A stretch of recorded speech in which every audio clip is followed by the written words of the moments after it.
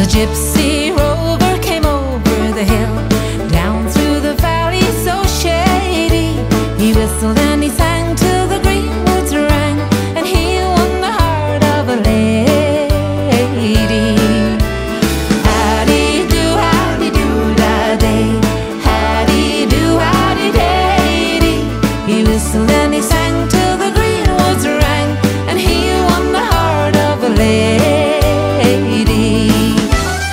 left her father's castle gate. She left her own lover. She left